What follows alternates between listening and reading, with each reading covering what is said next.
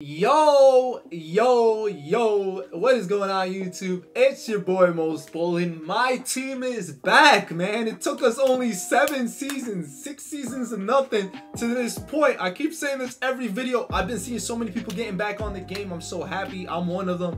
I'm glad you guys are getting back into it. I'm glad I'm getting you guys back into it. We've all missed it, obviously. Like, we missed basketball games. But my team is finally waking up in so many ways. Look, we're going to talk about the three cards for tomorrow.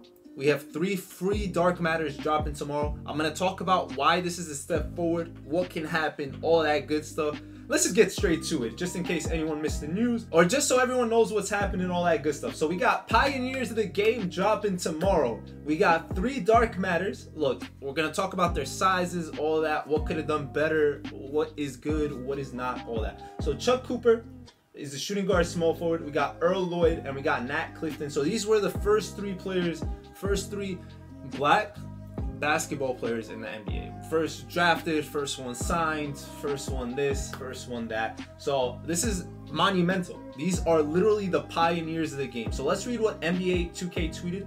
Three pioneers who blazed a new path in NBA history are coming to my team tomorrow. Yes, yes, yes. Take on Chuck Cooper, Earl Lloyd, and Nat Sweetwater Clifton. What kind of nickname is that? My man's name's Sweetwater. So you play them in triple threat and you get to add their special pioneers of the game cards to your collection. You earn rewards as you complete all three challenges. So there's three challenges, whether they're gonna be spotlights or skills, doesn't really matter.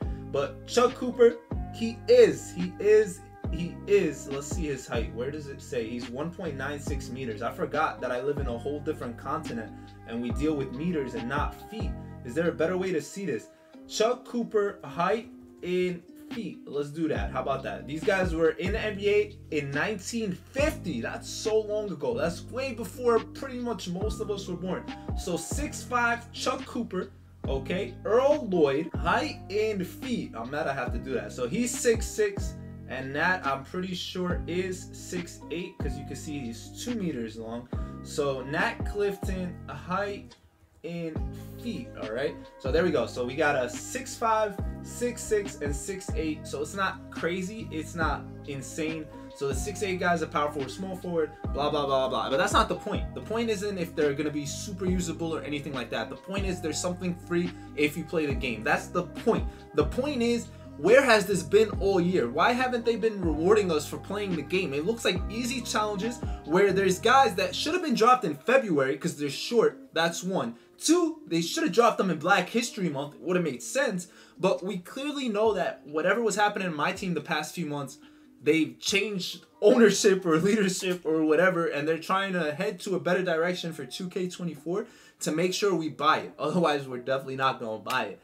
But I'm liking the direction. I'm liking the movement. I'm enjoying that they're adding free stuff. The Rush event has been dope, lasting a whole week. I'm sure it's going to be done again on Tuesday. More Rush cards, more that, more packs to get, all that. So it's such a W vibe to be able to grind for new content and being able to get free content. Like literally, where has this been? I can't stress that enough.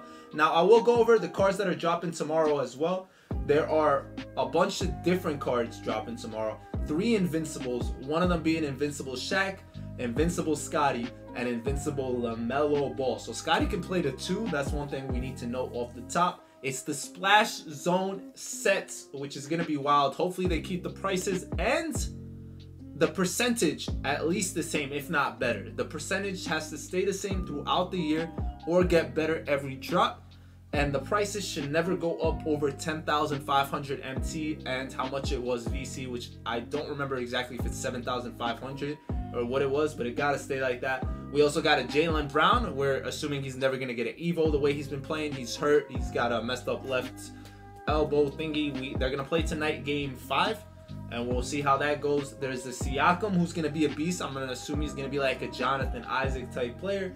There's a Damian Lillard who every Dame is pretty much the same. You can't really make Dame much better. He's same height, so how do you make that better? Ray Allen's getting a new card. That should be kind of dope. Sean Kemp, who was a beast all year so far, every card he's gotten got a dark matter as well. So those are all the dark matters, a bunch of them. So there's a total of five and, and then three invincibles, which is wild. Eight dark matters total. not to mention all the old time ones that they made as crowd fillers or whatever. And then we got five Opals in Morris Peterson, who's usually pretty good, especially that he's tall for his size or whatever, or height or position, I'm trying to say.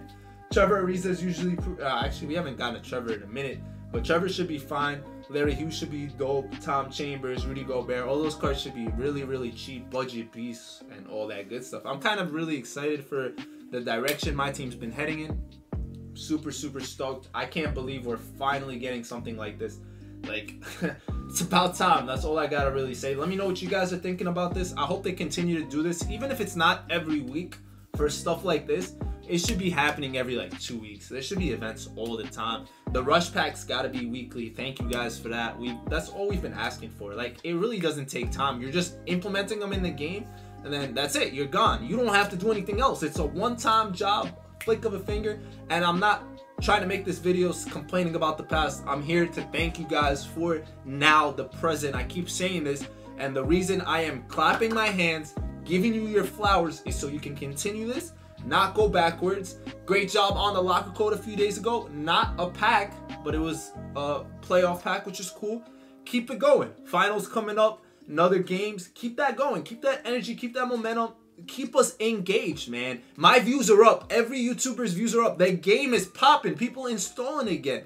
Keep that momentum going. Keep it vibing. People's streams are going well. I'm seeing a lot of people interacting. A lot of people telling me they're getting back in the game. And I hope this trend continues for as long as possible. Let me know what you guys think. I hope you guys are excited. We'll be talking soon.